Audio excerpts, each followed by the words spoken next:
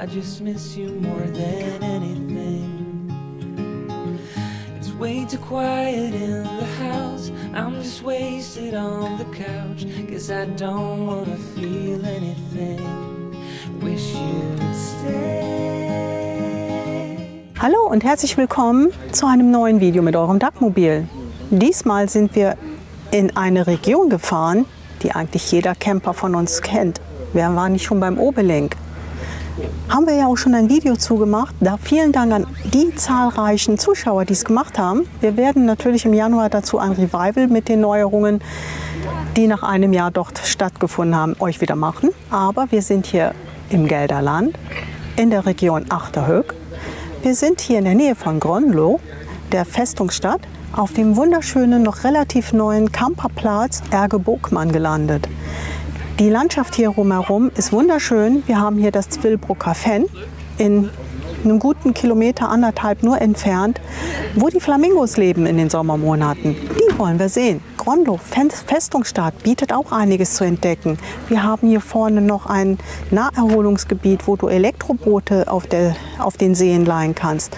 Und wunderschöne Radwege, Hinzu kommt, dass an diesem, Festi äh, diesem Wochenende das zweite Cross Festival bei Lichtenfolde bei ist. Das ist eine Mischung zwischen Musikevent und Motocross und vielen anderen verrückten Sachen. Guten Morgen. Wir haben eine richtig gute Nacht gehabt. Trotz der Hitze war es erträglich. Liegt vielleicht auch daran, dass hier in der Nähe ja das Moor ist. Und die Luftfeuchtigkeit hat dich richtig durchatmen lassen. So, Plan für das Wochenende ist erstmal nicht dahin zu schmelzen. Heute sollen es 34 Grad werden und morgen soll es abkühlen, aber auch sehr viel regnen mit mehreren Gewittern. Müssen wir mal gucken. Vielleicht verschiebt das Wetter sich ja ein bisschen. Heute wollen wir erstmal ins Zwillbrucker Fan fahren. Dort sollen ja Flamingos leben. Mal gucken, ob ich sie mit dem Zoom, mit dem Handy einfangen kann. Mit der Kamera wird es, glaube ich, nicht funktionieren. Und dann wollen wir zur alten Festungsstadt Grönlo fahren. Mal gucken, dort gibt es das ein oder andere Historische zu entdecken. Und hier in der Nähe ist dieses Wochenende ein richtig fettes Festival. Das Zwarte, Zwarte Cross Festival. Eine Mischung zwischen Motocross, ich glaube auch 24-Stunden-Rennen. Es gibt also da, ich habe mal in YouTube geguckt, auch eben, wo sie im Dunkeln fahren, plus einem riesen Musikfestival. Und einige stehen auch hier auf dem Platz, die das Festival besuchen. Es ist daher auch ein bisschen voller, aber es war trotzdem mega ruhig, alle mega nett. Ich habe mich in den Platz schon verliebt, als wir gestern hier ankamen. Also von daher, den zeigen wir euch aber wieder, wie ihr es von uns kennt, natürlich in einem separaten Stellplatzvideo. Und dieses Video widmen wir wieder dem Drumherum und dem, was man hier so an einem Wochenende oder in der Woche alles machen kann. Bleibt dran, wir werden euch wieder bestimmt interessante Sachen zeigen können. So, und jetzt gibt es noch mal eine Tasse Kaffee und dann wollen wir aufs Rad, bevor wir in die Mittagssonne fahren. Kriegen wir aber bestimmt wieder hin. Alfred freut ja, sich ja. schon. Bis später. Stayed here beside me. This isn't how it's supposed to be. Wish you stayed. Stayed here right with me. I can't shake that feeling that we said goodbye too soon.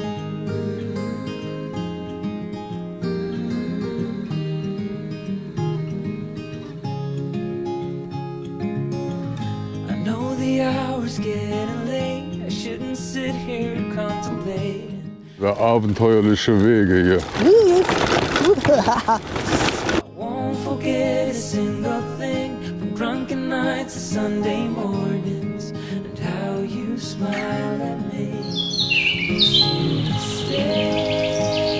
Hört ihr das? Wir sind jetzt im Zwillbrucker Fenn. Hier startet der Rundweg einmal in die und einmal in die Richtung. Sind 5,2 Kilometer und ich hätte schon Bock, den zu gehen. In einem halben Kilometer haben wir auch schon die Aussichtskanzel, die Westkanzel, wo man auf die Flamingos gucken kann. Und in einem weiteren Kilometer dann die biologische Station. Bis da wollen wir auf jeden Fall fahren. Und hier ist es richtig idyllisch.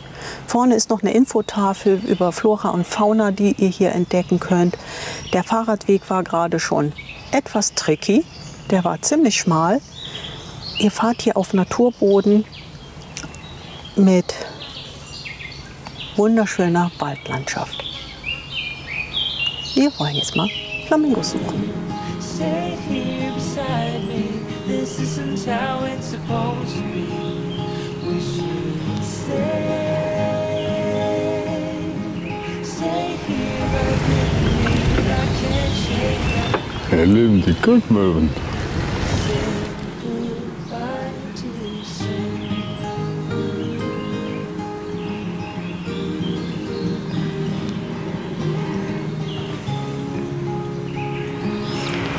Oh, eine Goldmöwe in freier Natur.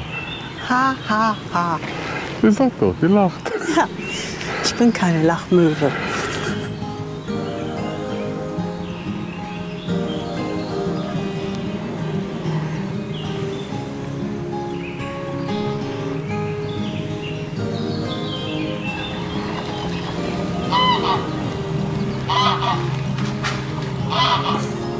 Und, hast Flamingos gefunden? Nee, für euch ganz wichtig, an der Nordkanzel habt ihr Blick auf die Flamingo-Insel. Hinten, wo wir eben an der Westkanzel waren, da schaut ihr auf die Lachmöweninsel. Wir haben hier extra ins Fernglas den Euro eingeworfen. Keine Flamingos zu sehen. Ich habe es nochmal mit dem Handy rangezoomt. Es sind alles nur Gänse. Aber was ihr hier habt, wenn ihr unterwegs seid, ist auf jeden Fall die Einkehrmöglichkeit, dass ihr Getränke bekommen könnt, auch einen Kaffee und Toilette und natürlich Informationsmaterial. Allein so von dem ganzen, ihr hört's, ne? Geschnatter und Gepiepe hier, ist das ein sehr schöner Ort. Könnt ihr gut mit dem Fahrrad fahren, ist nicht als Fahrradweg hier ausgewiesen, aber fahrt einfach Richtung Parkplatz, äh, fahrt einfach in Richtung der beiden Parkplätze, die ausgeschildert sind. Dann kommt ihr eigentlich hier ganz gut um den See herum. Ich gehe da jetzt mal gucken. Ich könnte ja sagen, die Schnatter habe ich jeden Tag, aber ich glaube, das muss ich rausschneiden.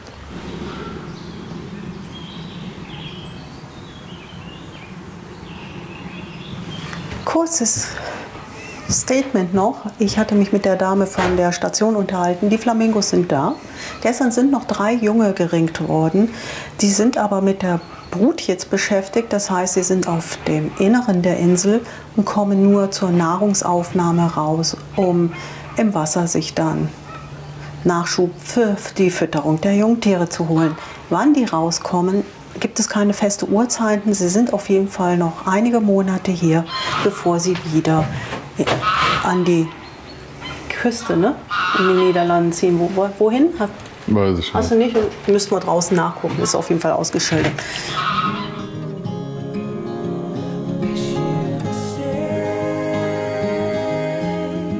Stayed here beside me. This isn't how it's supposed to be.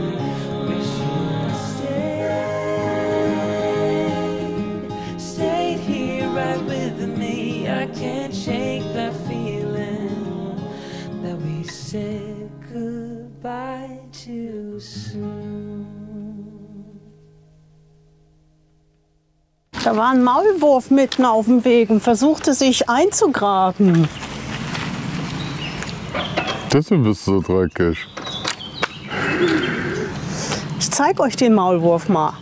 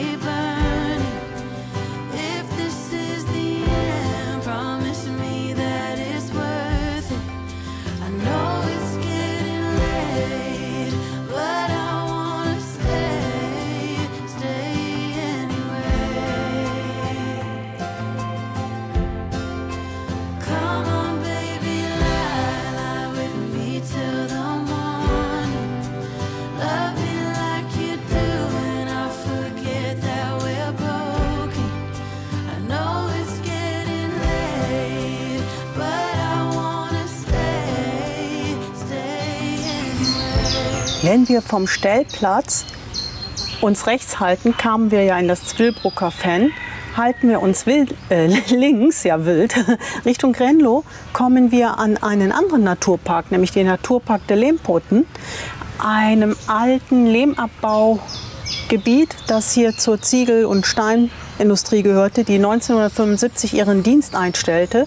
Aber aus den Lehmgruben hat man ein wunderschönes Naturschutzgebiet wiederum geschaffen. Und hier an dieser kleinen Station kann man einen Streichelzoo besuchen und da ist auch mal Tretbötchenlein.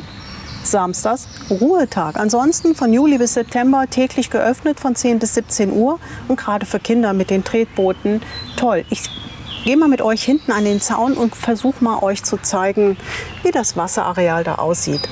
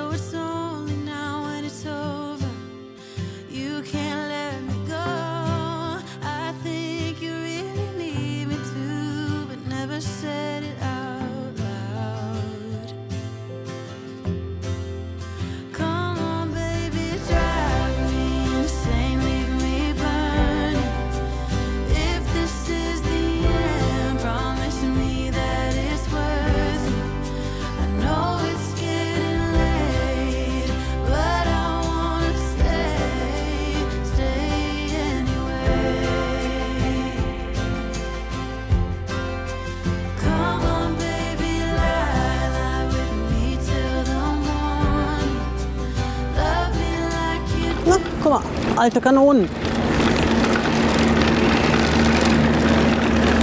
Wisst ihr, wofür Grenlo noch bekannt ist? Nicht für seine, nur für seine Schlacht, die alle, ich glaube jedes Jahr oder alle zwei Jahre, weiß ich nicht genau, hier nachgestellt wird als Riesenspektakel.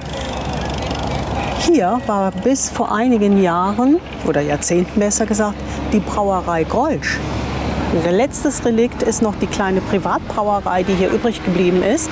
Aber man hat ihm ein Denkmal gesetzt mit diesem großen Bierkessel da vorne.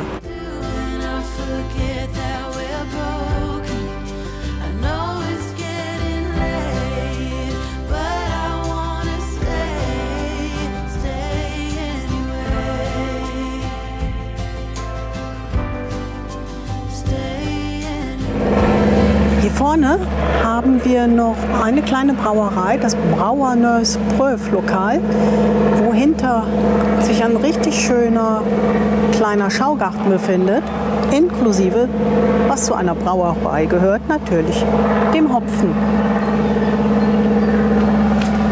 Und da hinten haben wir noch ein paar Bierfässer. Also auch wenn ihr zu Fuß unterwegs seid, könnt ihr hier wunderbar an diesem Wallgraben der alten Garnisonsstadt spazieren gehen, Fahrrad fahren oder da hinten auf der Terrasse einfach die Biersorten, die hier noch gebraut werden, probieren. Finde ich gut. Wäre es nicht so warm, war der Plan, dass wir hier eigentlich auch einkehren, aber wir haben 34 Grad. Ich glaube, da kommt jetzt so ein Bierchen nicht so gut.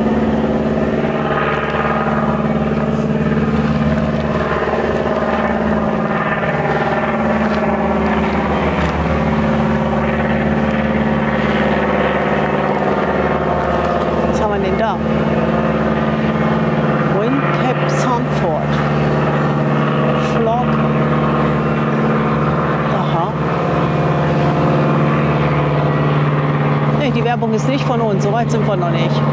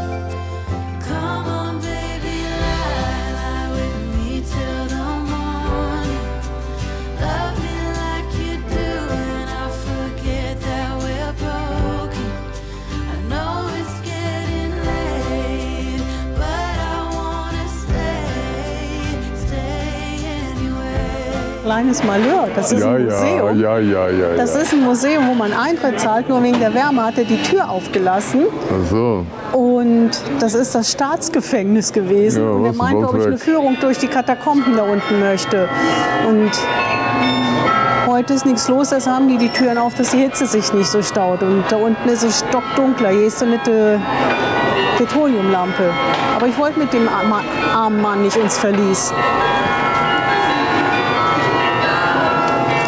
Aber wieder ein nettes, typisch niederländisches Fleckchen. Ne? Wir haben hier wieder diesen typischen Markt mit vielen leckeren Sachen.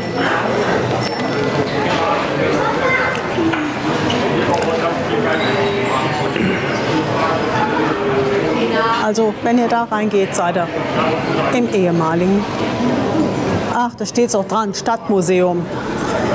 Da steht's. Ja, kostet ein. Okay, das ist dann das Stadtmuseum.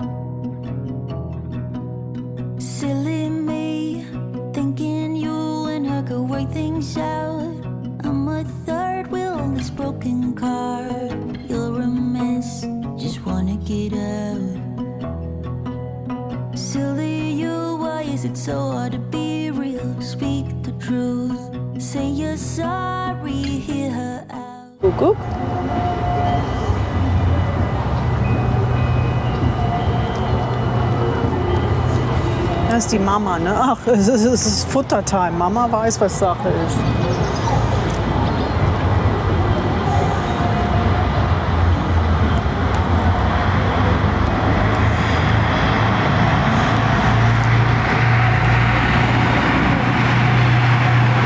So, bei dem Onkel gibt es doch was zu essen, wenn die Mama das meint. Gehen wir mal mit. Da sind wir extra nicht an die Niederrhein gefahren, weil Parukaville ist. Hier ist Zwarte Kors. Ist noch ein Stück bis zum Gelände, aber es ist so und wir haben es echt, wir sind da weit davon weg, wie Beze von der Sörenheide beim Jupp. Und du hast es heute Nacht noch hören können, ne? Nicht stark, aber man hört es. Die fahren wohl auch nachts und abends sind auch äh, noch Musikevents. Auf jeden Fall sind wir jetzt neugierig und gucken mal, wie weit man an das Gelände rankommt, ohne ein Ticket zu bekommen, weil es soll dort auch irgendwie was mit aufgemotzten Trucks sein. Vielleicht sieht man die ja. Von daher immer dem Lärm nach.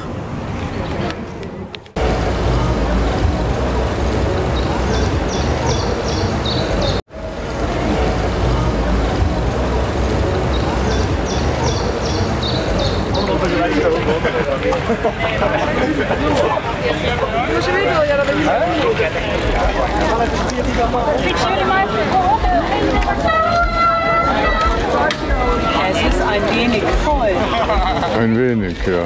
Aktuell läuft der Soundcheck, gleich geht wohl auch irgendwann die Musik los. Wir haben keine Tickets, wir müssten uns anstellen und so weiter und so fort bei 34 Grad. Ich habe zu Paruka-Bill gekommen.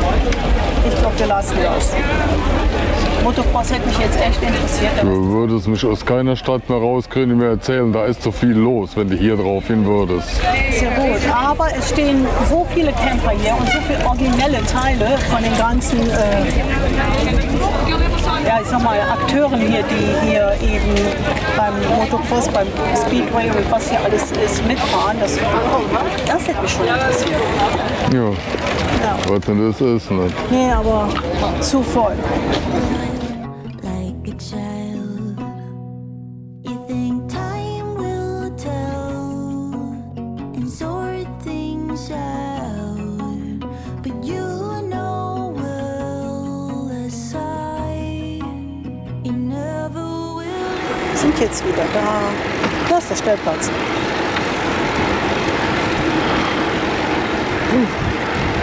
Jetzt hat die Hitze, glaube ich, aber auch ihren Höhepunkt. Puh. Hammer, ha- halb vier.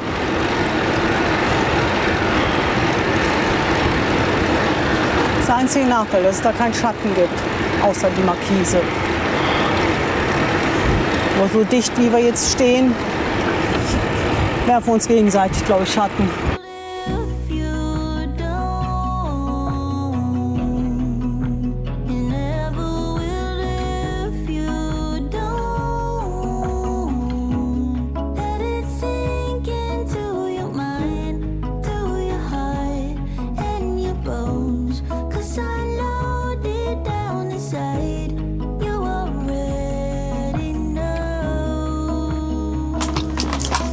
Siehst so sauber aus.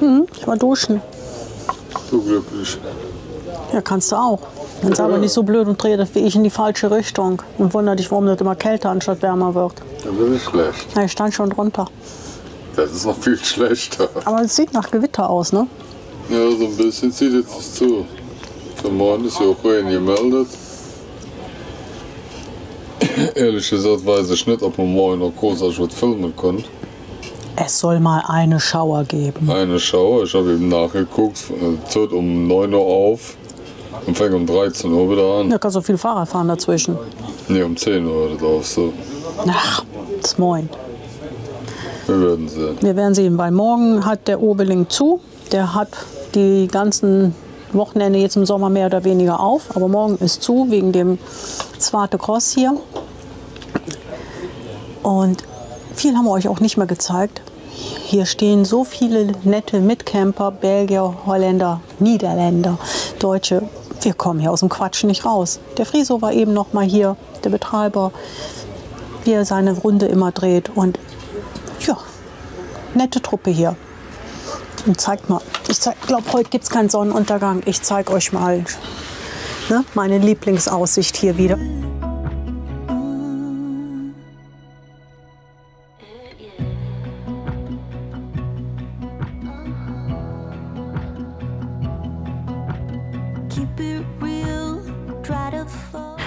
Ausblick, in den ich mich verliebt habe.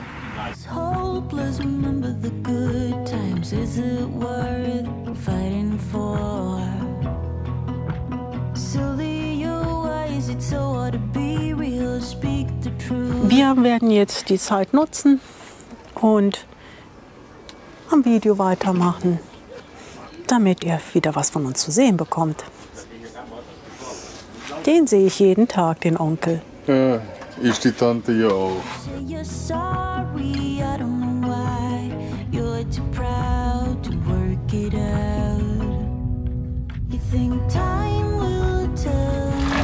Ich zeige euch gerade den weltbesten Ehemann.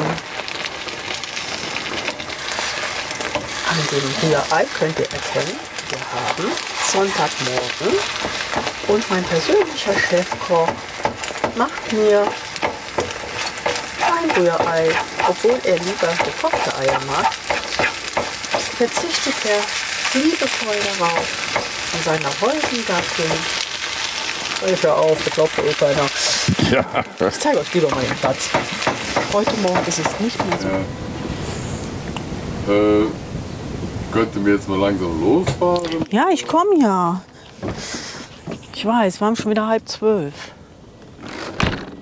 Richtig gut, dass wir hier entspannt stehen können bis 19 Uhr. Aber das Gewitter ist schon mal vorbei. Und bis das andere kommt, sind wir wieder hier. Ist der Plan.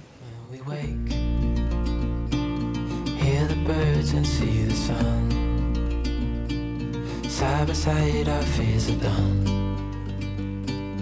Oh, the good times just begun. Da waren ganz viele Blaubeeren in einem Dickicht, in einem Ges äh, jetzt sage ich auch schon Blaubeeren, Brombeeren. In einem Dickicht, in einem Gebüsch. Etwas weiter entfernt war ein Bauernhof. Oh, guck mal. Und hatte so vier Stück geflickt, äh, gepflückt. Kam die Bäuerin angelaufen. Ich, das wären ihre. Ich möchte bitte auf der anderen Straßenseite pflücken. War gar nicht zu ersehen, dass das zu dem Grundstück gehörte, aber Ich bin dann brav weitergezückelt und habe aus Wrack auf der anderen Seite keine gepflückt. So, pflücke ich gleich welche zu Hause. Da stehen auch welche.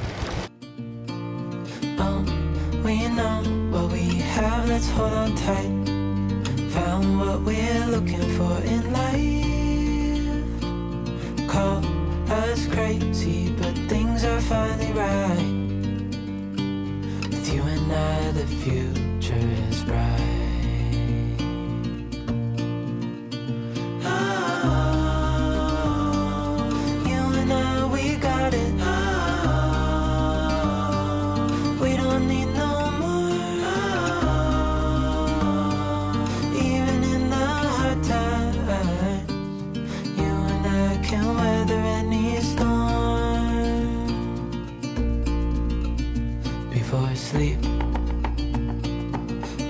Crickets, see the moon. Side by side and through and through. No limit to what we can do. Oh, we know what we have, let's hold on tight. Found what we're looking for in life. Call us crazy, but things are finally right. Future is bright. Oh, you and I, we got it. Oh, we don't need Es ist schwül warm und ich glaube, ich manövriere sonst wieder in den Regen. Der Plan ist, da runterzufahren. Du bist fast so groß wie das Tor. Ich dachte, ich habe die gleiche Farbe wie die Ente. Was hast du oben? Ich habe einen Heiligenschein. Heiligenschein. Glaubt mir eh keiner. Nee. Da sorgst du schon für. Ich?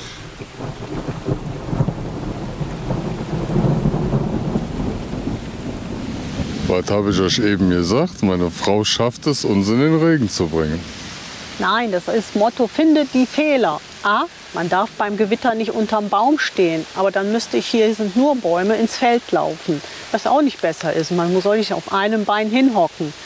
Aber das wollt ihr jetzt nicht sehen. Und Ich Und? einem Beine hinhocken. Wo hast du das denn gelesen? habe ich als Kind so gelernt. Ja, die hab- haben sich ja kaputt gelacht. Und, und ich habe mal überlegt, ich glaube, 50 Prozent unserer Videos sind mit Regenüberraschungen. Ja, Ich habe die Kappe auch nur an, damit die Brille nicht so du hast zwar ein gutes Navi, aber du hast auch irgendwie ein komisches Regenradar. In der Wüste würde ich Wasser finden. Ja, das ist mal wahr. Nutzt die Regenpause. In der Zeit könnt ihr uns hier gerne ein Abo dalassen oder einen Kommentar schreiben, wie es euch mit dem Wetter so ergeht. Alfred, halt die Kamera nicht so in den Regen, sonst haben wir hier gleich das Fazit direkt. Und habe ich schon was vom Liken erzählt? Ich bin jetzt durcheinander. Ihr kennt das ja. Like, Abo, Kommentar, Pipapo. Lasst es einfach da. So, ich mache jetzt ein Stoßgebet, dass es wieder aufhört. Da wollte meine Frau uns hinführen. Wir waren ja bis hinten an den Bäumen. Aber ich schon. habe mich durchgesetzt. Wir fahren jetzt nach da.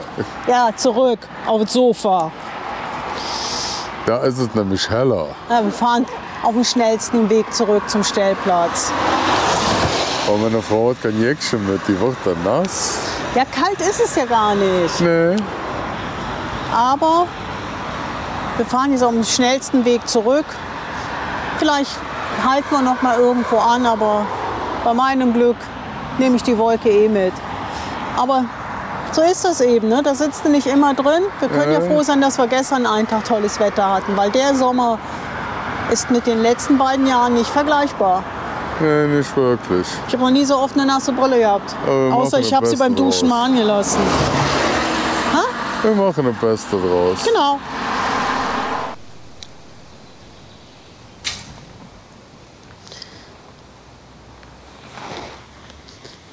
Und das ist der Grund, warum wir oft in den Niederlanden unter anderem sind. Vielleicht fragt ihr euch, warum wir so oft, wir wohnen ja recht grenznah in den Niederlanden unterwegs sind. Wir sind hier inmitten eines Industriegebiets. Es geht seit dem letzten Dreh komplett diese Fahrradstraße bis nach Grönlo, vielleicht noch weiter. Und dann hast du hier diesen wie nennt man das, Pitstop. Du kannst hier Marmelade für einen guten Zweck kaufen. Du kannst dich hinsetzen. Du hast eine E-Bike-Ladestation. Und dann hast du da noch dieses Häuschen, in dem du frische Getränke, Kaffee, Kuchen, ein WC findest da eine Rast machen kannst. Ist das nicht geil? Und das findest du wieder nur hier in den Niederlanden. Bei uns hast du das nicht. Wenn du sowas bei uns machst, brauchen wir nicht drüber reden, wie es aussieht oder wie viel Marmelade noch da wäre. Pünktchen, Pünktchen, Pünktchen, ob sie bezahlt würde und so weiter. Ohne dass es demoliert, randaliert und sonst was Ich finde das geil. gemacht worden wäre. Also wie gesagt, Und wenn ihr kein Kleingeld mit habt, könnt ihr auch noch äh, überweisen.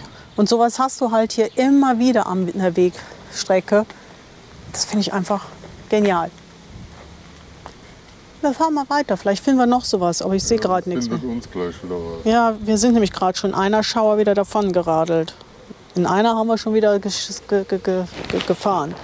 So, wir müssen Gas geben, sonst gibt es nachher doch noch ein Wettshot.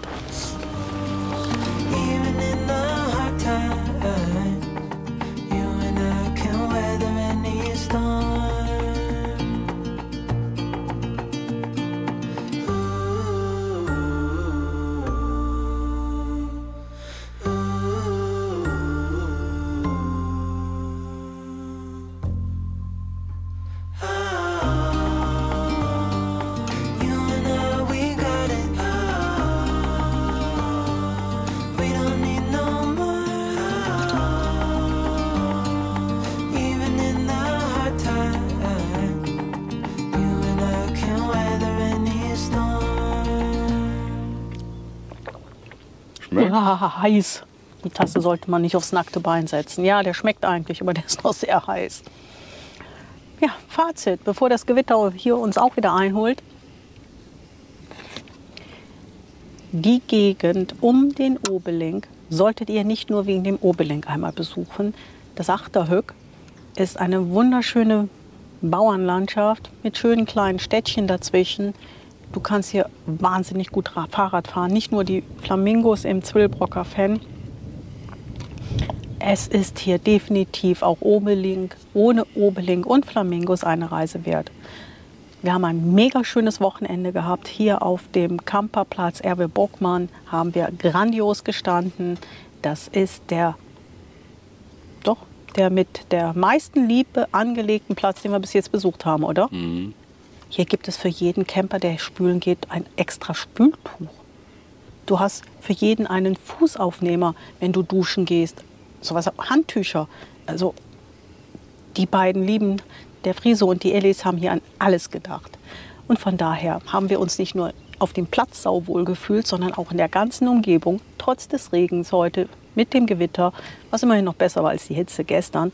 Kommt einmal her und schaltet komplett ab und genießt einfach diese wunderschöne Landschaft und die Ruhe. Mehr kann ich ja jetzt nicht sagen, sonst ist es ja nicht mehr ruhig, ne? Doch. Danke fürs Zuschauen. Bis zum nächsten Mal. Nächste Woche sind wir wieder unterwegs. Macht's gut. Ciao. Ciao.